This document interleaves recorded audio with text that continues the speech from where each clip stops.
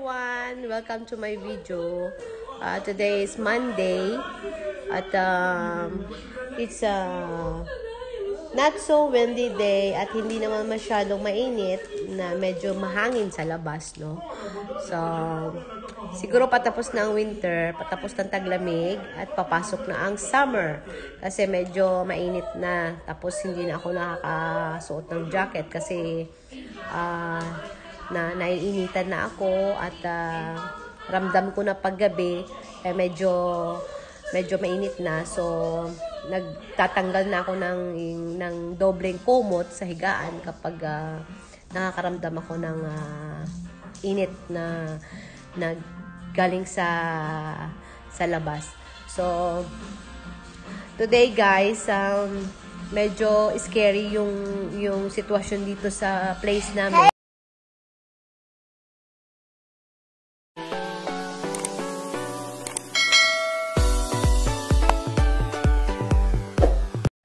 Nasa nasa high risk level po yung yung area namin, especially doon sa labas kasi yung sa labas sa may harap ng uh, hotel is um, is uh, may barricade na po na nilagay yung mga pulis kanina sa kaninang umaga. Although hindi ko nakita kasi hindi walang pasok yung alaga ko, so hindi ako nakalabas ng maaga kanina. So when I check outside na na kung ano talaga yung nangyayari doon sa labas ng ng hotel. Kasi nakikita nakikita ko doon sa balcony uh, yung yung harap ng hotel actually sa gilid ta, gilid na ng bahay namin kung nakikita nyo yan yung likod na yan yan yan po yung hotel kung saan may tatlong pasyente na may virus daw pero hindi pa sure kung talagang coronavirus yon no So, hindi pa ako, hindi pa tayo sigurado kung ang, kung, kung virus ba yun.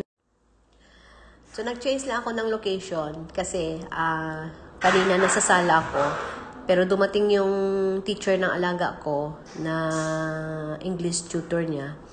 So, dito ako sa kusina para maituloy ko yung ano, pagbablog ko. Uh, so anyway guys, uh, back to our topic, no?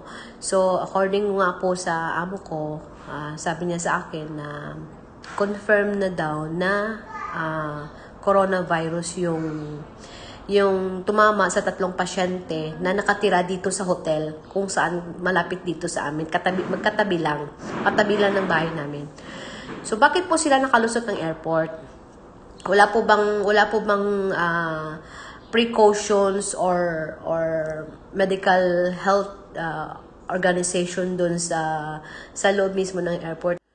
Dapat dumaan muna sila sa screening bago sila makalabas ng airport, 'di ba? Yung tinatawag nilang uh, uh, health quarantine na may isang facility doon na dapat pag pag nakitaan ka ng sintomas ng uh, virus is um, ilalagay ka sa isang quarantine area para i-test ka kung talagang may, may virus ka.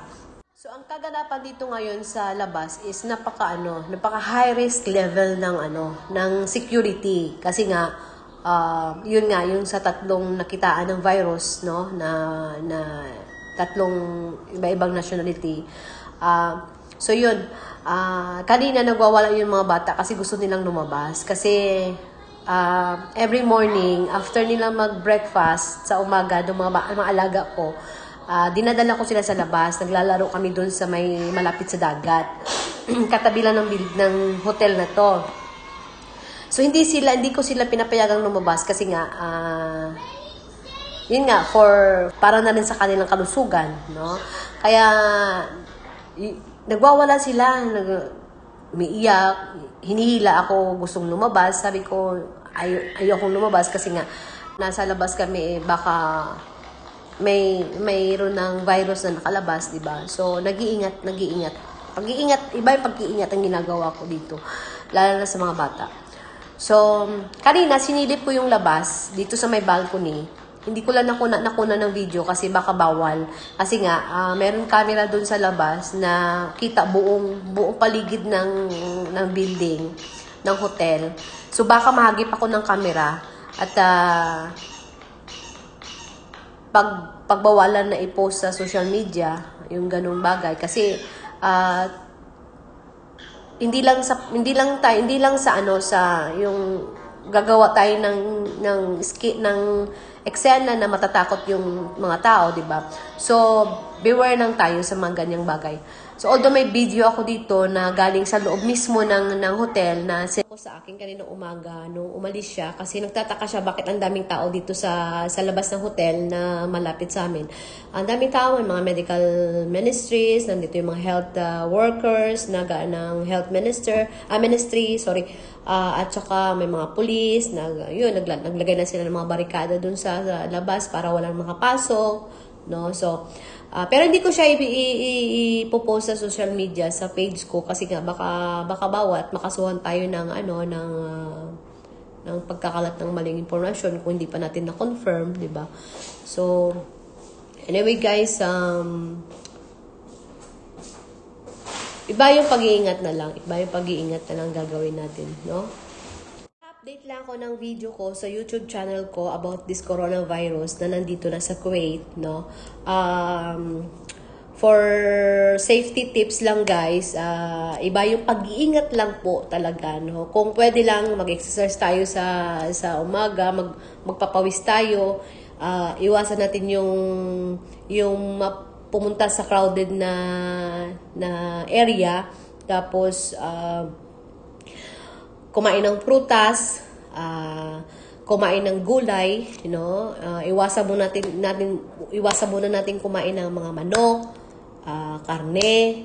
So kung pwede lang uh, more on vegetables tayo, more on fruits, uh, uminom ng uh, ng uh, mga juice na fresh juice. Uh, so yun guys, uh, iba yung pag-iingat lang uh, mga kapwa ko Pilipino dito sa Kuwait, no. Um, mag-ingat lang po tayo guys, uh, dobling ingat lang po. So yun, uh, mag-update lang ako ulit ng aking uh, ng aking video about sa sa coronavirus. Uh, uh, you can uh, follow me at Lois Vlog. Uh, you can subscribe and um, ayun guys, um, Nagsisimula pa lang ako as a, as a vlogger, pero hindi, hindi pa naman ako legit na vlogger, no? Kasi wala pa tayong natatanggap galing sa YouTube. diba? So, yun. Um, ayun guys, uh, tips lang na, tips ko lang, tips galing sa akin na yun, na uh, healthy yung katawan natin, no? So, thanks for watching guys. Uh, you can visit my YouTube channel, Lois Vlog, no? Kasi, uh, gusto ko madagdagan yung subscribers ko. No? So, humingi po ako ng konting uh, awa na subscribe sa yung channel ko. So, maraming salamat guys and thanks for watching. Bye!